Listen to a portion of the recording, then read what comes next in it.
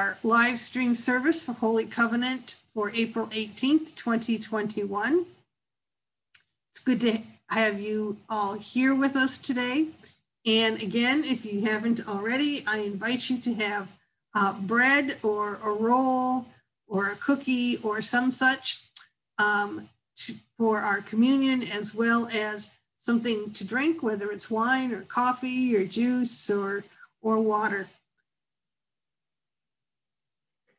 We will be sharing communion later on in our worship service. So some upcoming events, Pints with the Pastor is coming up on Thursday, uh, the 22nd, this Thursday uh, at 6 p.m. at 6 to 8. Uh, and if you could let me know if you're coming so that um, I can, I can, um, you know, be expecting you. Uh, the links are in the newsletter. Actually, the links to um, all the upcoming events are in the newsletter. So um, if you are interested, please check that out. And if you don't get the newsletter, please uh, make a, add your, uh, let us know in the comments or contact us and we will add you to our mailing list. Um, Tuesday, this coming, no, a week from Tuesday, um, Thrive with Pride, the plenary, the large group will be meeting at 11 o'clock via Zoom. Uh, we'll have a representative from the National Alliance for Mental Illness, NAMI, um, presenting um, on special, the special uh, concerns of seniors, especially LGBTQ seniors. And uh, they, that will be, um, again, Tuesday the 27th at 11. Um, our own Thrive with Pride Cafe will meet the 6th of May at 7 p.m. Um, we meet the first Thursday of the month at 7 p.m. via Zoom. Uh, and so you are welcome to, to join us. Looking ahead a, a little further in May, uh, we will be having a garage sale on May 15th. That's a Saturday. Uh, if you have items to donate or if you are able, um, we will especially be looking for um, uh, folks to help us out. Um, and um, and I just I just messed up here, so I am going to uh, hang on a minute. I need to get myself back to where I need to be.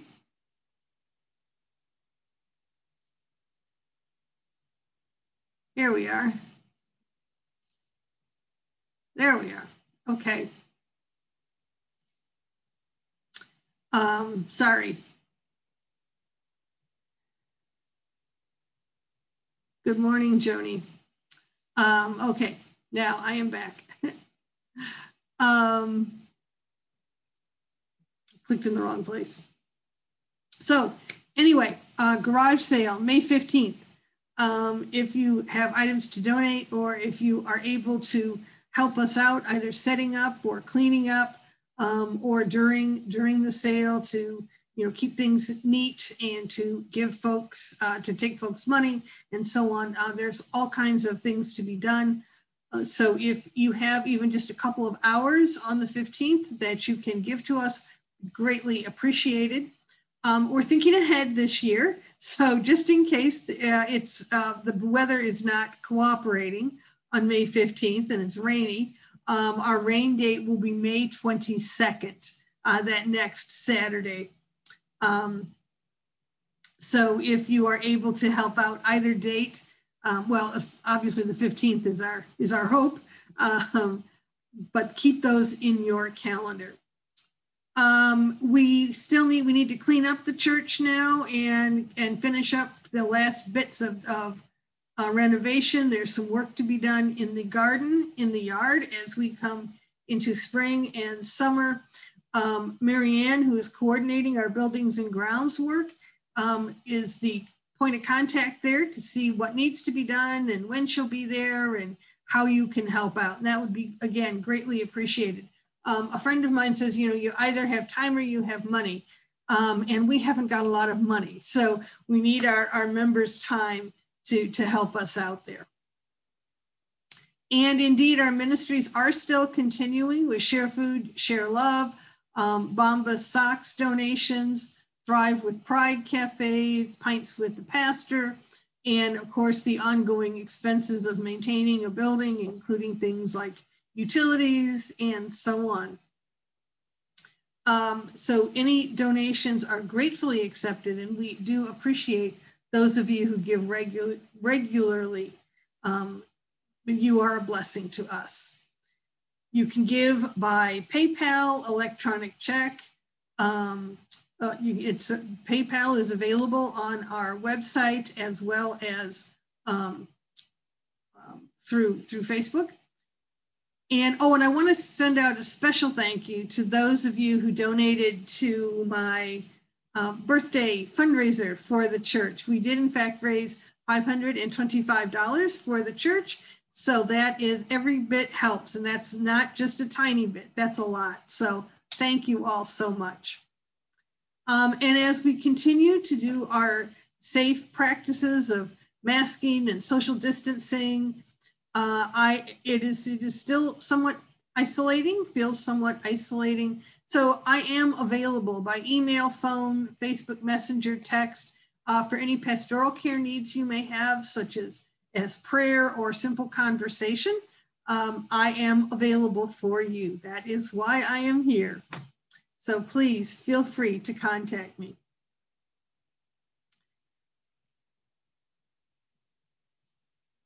Our opening uh, prayer this morning is by Barb Hedges Goettl.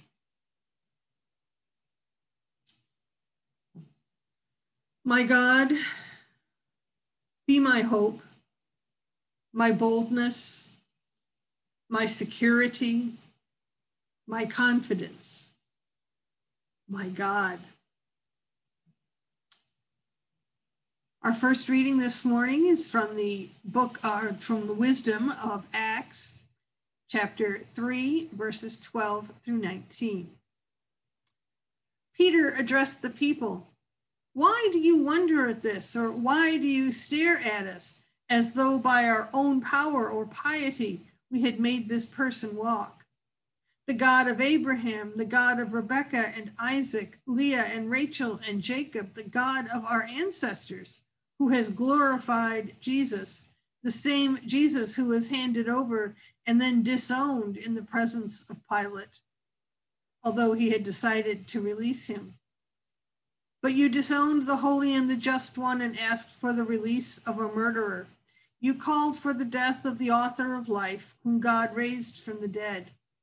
To this we are witnesses. It is the name of Jesus and faith in it that has strengthened the limbs of this one whom you see and know well. Such faith has given this person perfect health, as all of you can see. And now, friends, I know that you acted in ignorance, as did also your leaders. God has brought to fulfillment by this means what was announced long ago by the prophets that the Messiah would suffer. Therefore, redeem your lives, turn to God so that your sins may be wiped away. And our second reading is from the Wisdom of Luke, chapter 24, verses 36 through 48. Jesus himself actually stood among the disciples and said to them, Peace be with you. In their panic and fright, they thought that they were seeing a ghost. Jesus said to them, Why are you disturbed? Why do such thoughts cross your minds? Look at my hands and my feet. See that it is I myself. Touch me and see. A ghost doesn't have flesh and bones as I do. And when he had said this, he showed them the wounds they were still incredulous for sheer joy and wonder. So Jesus said to them, Do you have anything here to eat? After being given a piece of broiled fish, the Savior ate in their presence. Then Jesus said to them, Remember the words that I spoke while I was still with you, that everything written about me in the law of Moses, the prophets, and the Psalms had to be fulfilled. Then Jesus opened their minds to the understanding of the scriptures, saying, That is why the scriptures say that the Messiah must suffer and rise from the dead on the third day. In the Messiah's name, repentance for the forgiveness of sins will be preached to all nations, beginning at Jerusalem. You are witnesses of all this. These are God's words. Thanks be to God.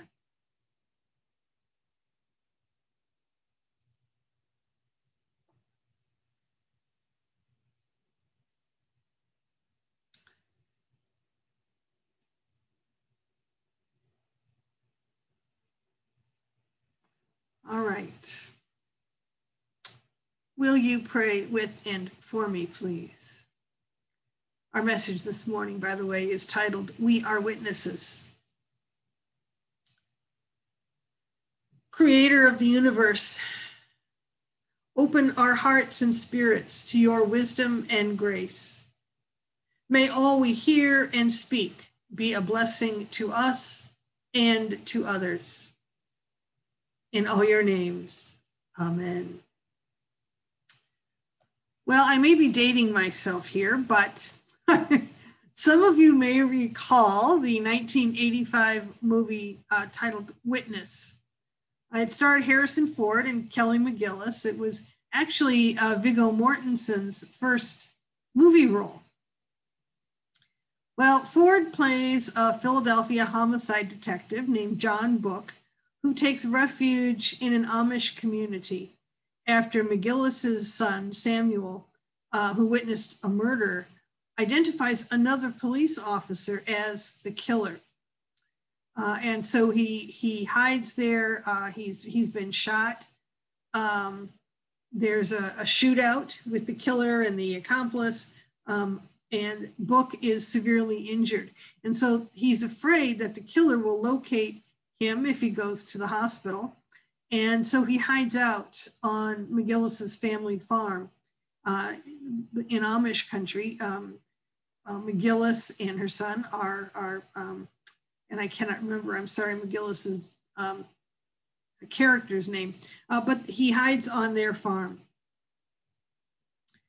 And as he recovers, he comes to recognize the power of the nonviolence of the Amish way of life even though he personally cannot embrace it. And in the climactic scene of the movie, the killer, I'm not going to tell you who because I don't want to spoil it. It's a very good movie. I, I recommend it. Uh, the killer threatens the lives of McGillis and her father in law. But the Amish community, who are summoned by a bell rung by young Samuel, gathers to watch. And the killer surrenders thwarted by so many witnesses. Witness, witnesses. The child is a witness to murder. Ford is a, or John Book, is a witness to the Amish community, which in turn is witness to his courage and integrity. The many meanings of the word are all in play here because a witness is someone who sees something. A witness may also testify, which is also a church word, isn't it? In court or otherwise, as to what they have seen or what they know.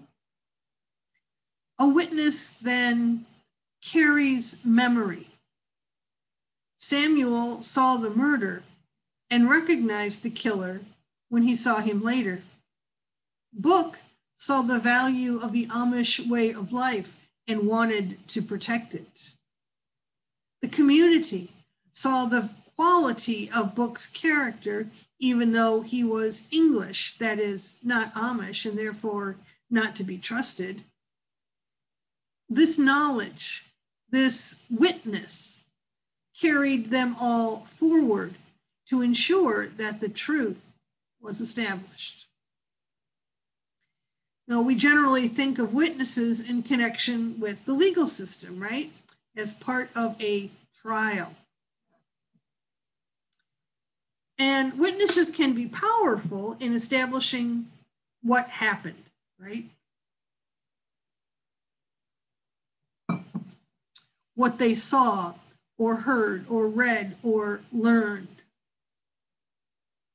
The witnesses at Derek Chauvin's trial, for example, have been absolutely heartbreaking as they speak of watching Mr. Floyd expire and being helpless to stop it, their pleas falling on ears that would not hear. But witnesses bring testimony in all kinds of ways. In a church or religious context, witnesses speak of their experience of the divine, of answered prayers, of the recognition of God's presence in their lives, of acceptance of God's love for them. They're speaking of what they have felt and known. Sometimes witnesses have no direct experience of the events to which they testify, but they know the results or consequences for others. Uh, the Holocaust has been on my mind recently, uh, partly because I recently went to the Holocaust Museum, the Illinois Holocaust Museum. It's also Holocaust remembrance. Uh, when I went to Poland to study the Holocaust in, in seminary, our guide at Auschwitz-Birkenau was Pan Kazimierz Smoleń. Uh, he was one of the first prisoners at Auschwitz. His prison number was only four digits long. He was a very early prisoner. And he worked in the camp office because he spoke fluent German as well as, as Polish, being Polish. After the war, he was one of the main witnesses at the Nuremberg trials. And he then directed the museum at Auschwitz. He lost his parents and a sibling to the camps. He and they were arrested because of his political activities. They were not Jewish, um, but they were uh, socialist, or he was a socialist, and so guilt by association. His family was also arrested. And he was, in a sense, therefore, responsible for their deaths. And yet, although I, I take that back, he was not responsible uh, it was because of his activities that they were arrested, let's put it that way. And yet his outlook on life was upbeat and positive. Um, for example, that crematoria are being allowed to simply decay away. They're not being destroyed, they're not being uh, refinished. They're just letting them, letting time take its, its toll. And, and I asked him how long he thought it would take for that to happen, for them to be completely gone. And he sort of half smiled and said, Quite a while. That's the best German steel. He was a witness in all senses of the word. One of our group asked him how he could bear to keep talking about what had happened there and how he could work at the place where he'd been imprisoned for so long. He said two things. One was that he did not relive his experiences, he retold them.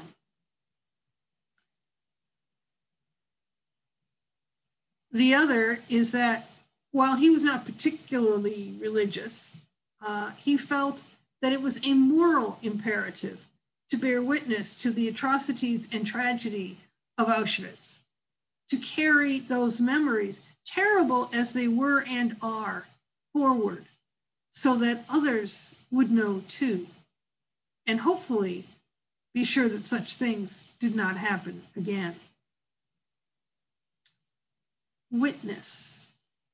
When we witness, we share the truth of what we have seen Hans Smoleń was a witness.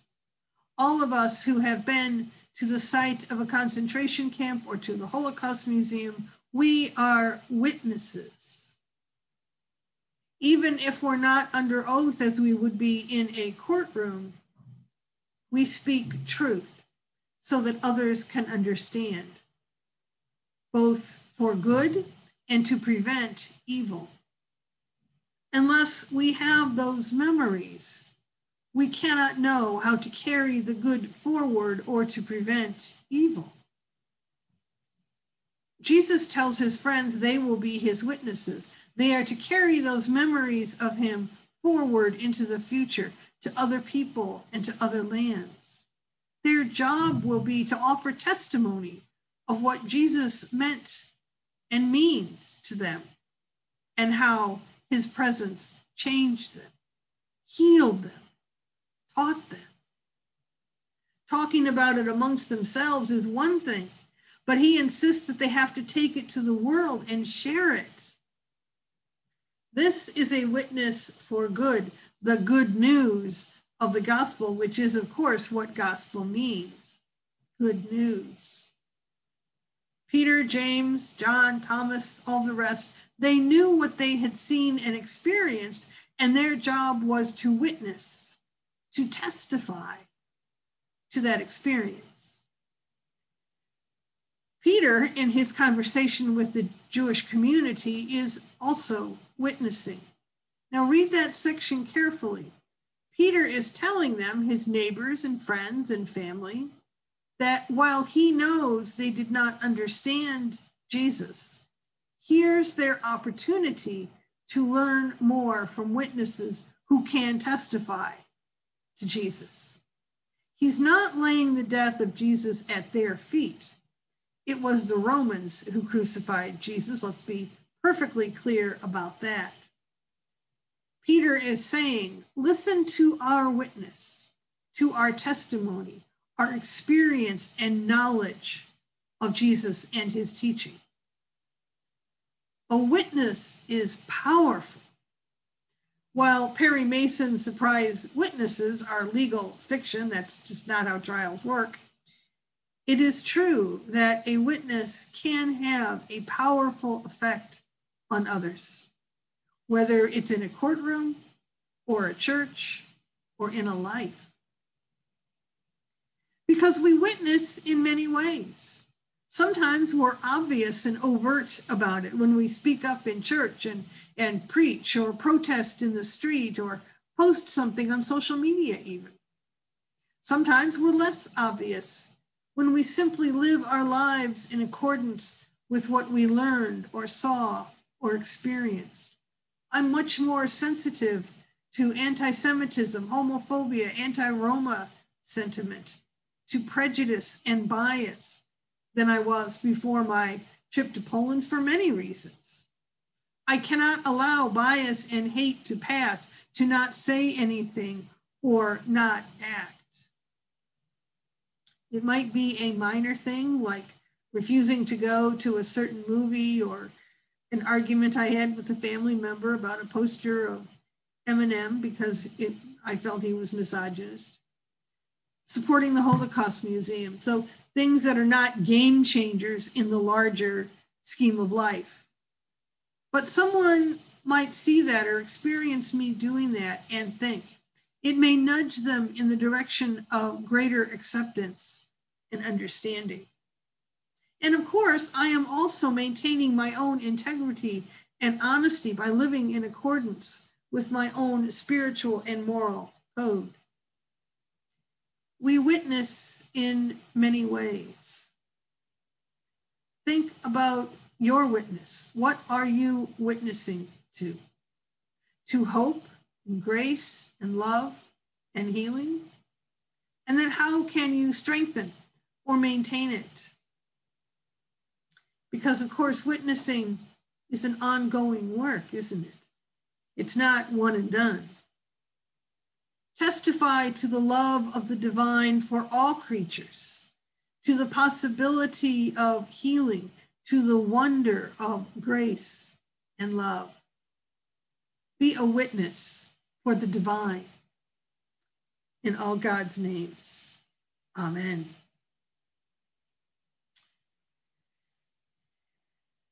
And now we come to the time of prayers. Uh, we offer up the prayers of our of the congregation of the people for those in need, those joys and concerns, those happinesses, as well as the griefs that we want wish to share with one another. So if you do have uh, prayers you would like us to include in the community prayers, please feel free to uh, write them in the comments or in the chat box. And we will include them in our prayers this morning.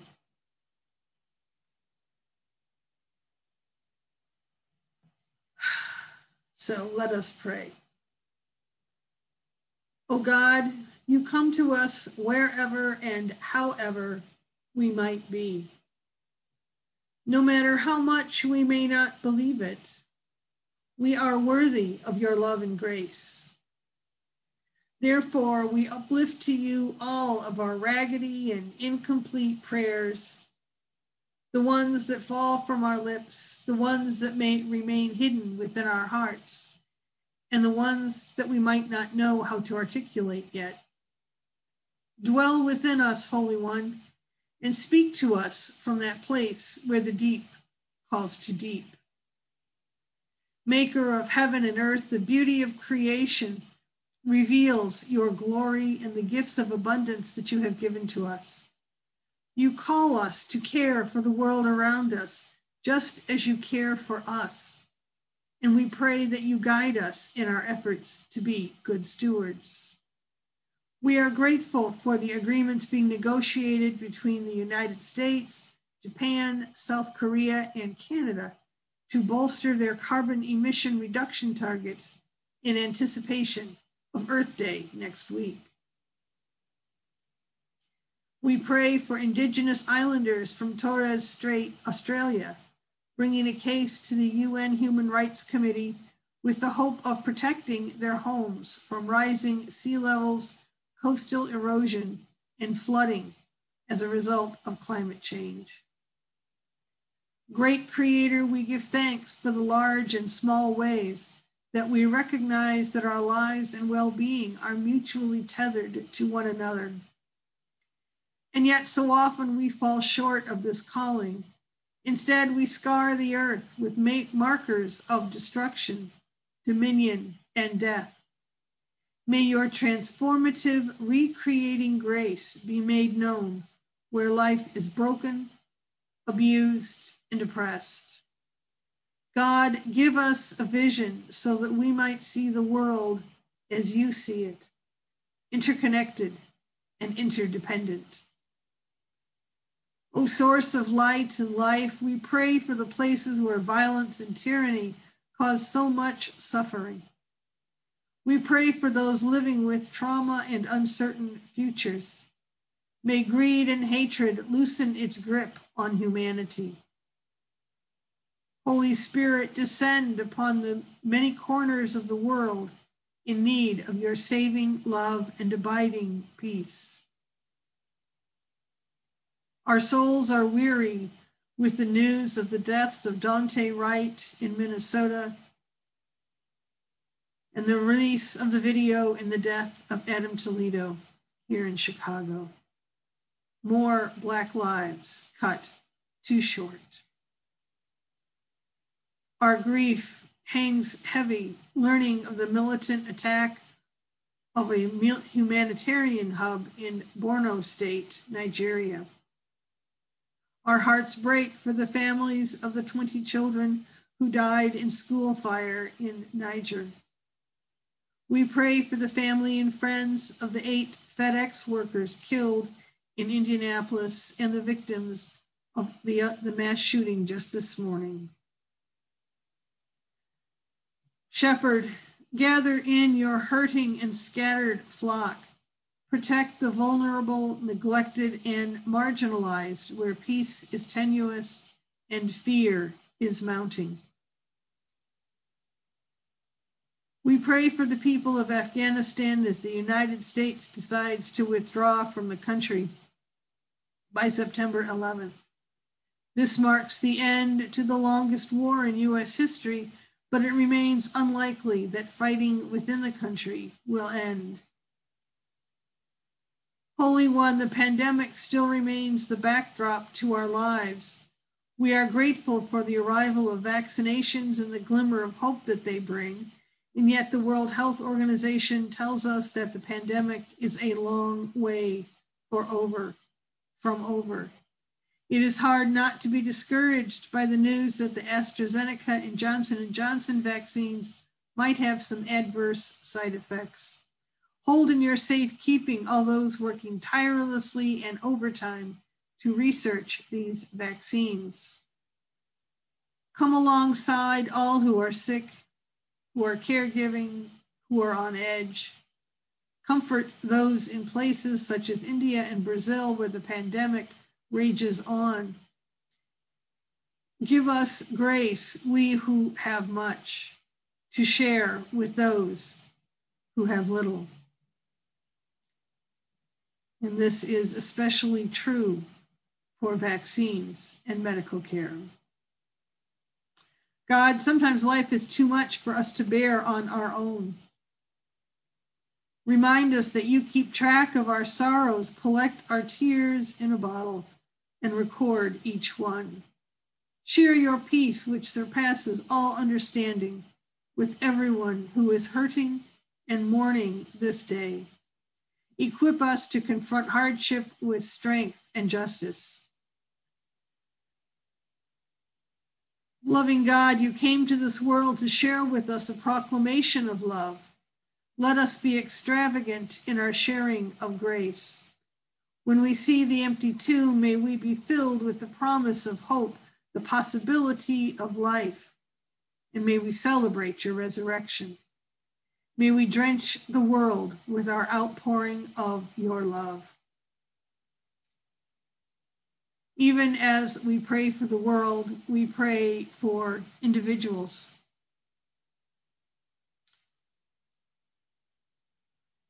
We ask your healing blessing on Linda, on both Karens, and all those dealing with COVID 19 in their own lives or those in those of those they love. And we lift up now also the prayers of our hearts. Speak them and know that God hears.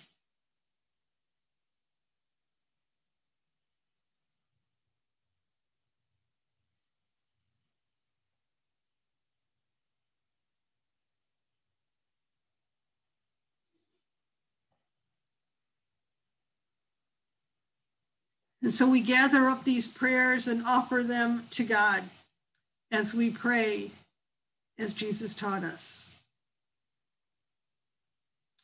Our Creator, who art in heaven, hallowed be your name.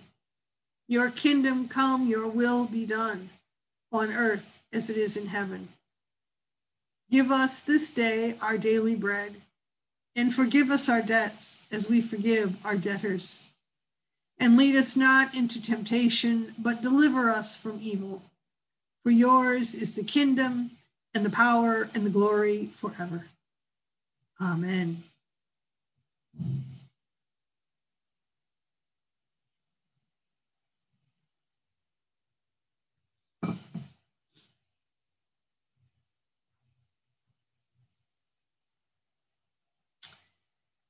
And now we come to the time for communion grab that cracker or cookie as well as your drink as we share this meal together.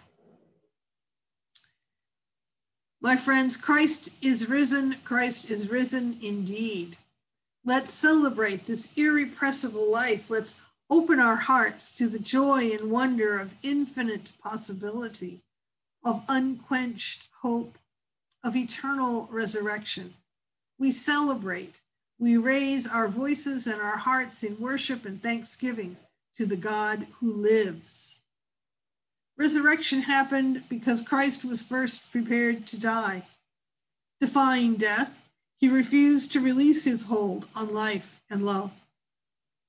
So now, as he encouraged us, we choose to remember, to witness, so that we too can truly live. At supper on the night before he died, Jesus took bread and blessed it. Then he broke it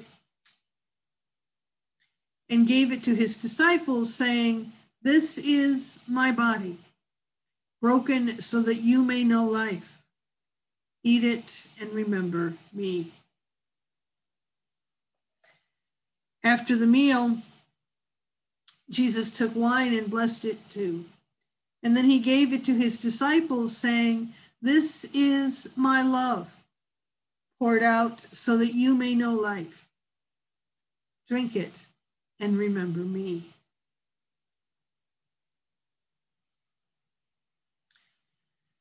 So now, Lord of life, we share in this meal, we celebrate together, and we remember you. And we will continue to do this until resurrection has flooded the whole creation. May this bread and this wine become for us in this moment your life giving body and love. And may we who share this meal be joined with you and with one another as one body, united in resurrection life and sharing with all of creation in your eternal salvation. Take now these gifts and share in God's feast.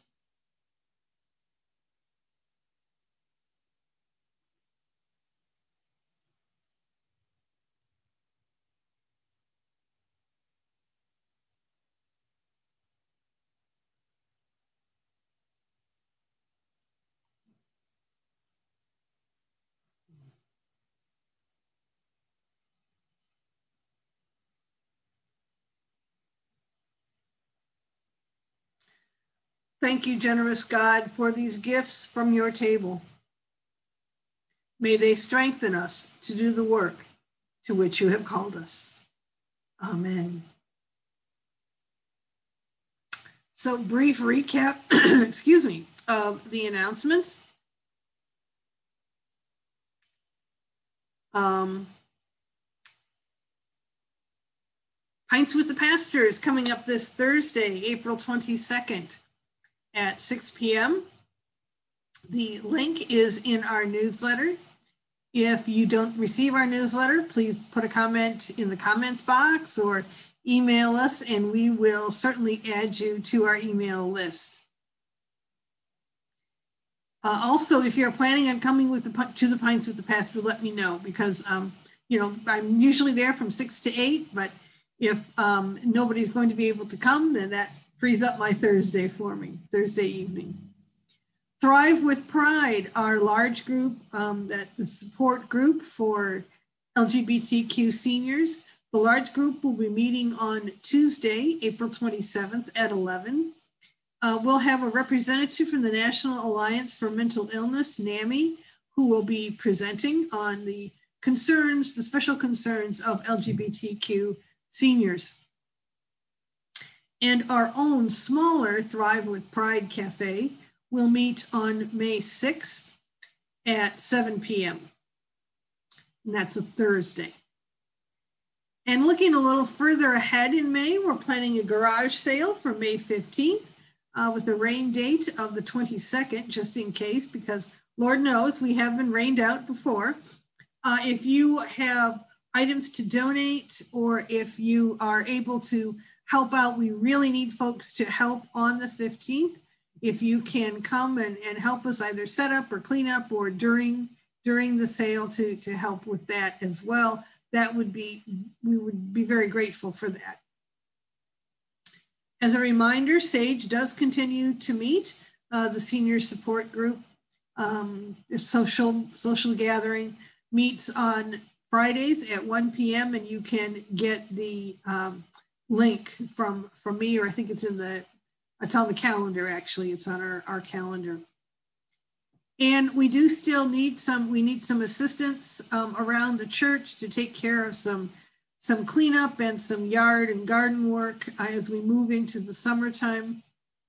If you're able to do that, um, we would be very grateful. Contact Marianne to see what needs to be done and, and to set that up uh, send the rain to you, Barb. Yeah, we'll, we'll do our best. um, And don't forget, if you feel so moved, to make your donations to the church via PayPal, Square, electronic check, paper check. Um, we're thankful, very thankful for all your gifts, and a special shout out to those who donated to my uh, fundraiser for my birthday. We raised $525. Um, so that that hopefully will help out with our utilities uh, for the for that month. So just check and see if there's anything else I need to comment. Just checking the comments here. See if I missed anything. Nope, it doesn't look like I did. Or if I and if I did, I apologize. I will catch up with you later. Let us pray as we prepare to turn back to the world. Creating God, as we prepare to engage with the world again, whether virtually or in person, keep us mindful that we are your witnesses. May our testimony be clear, hopeful, grace filled, and loving. In all your names, amen.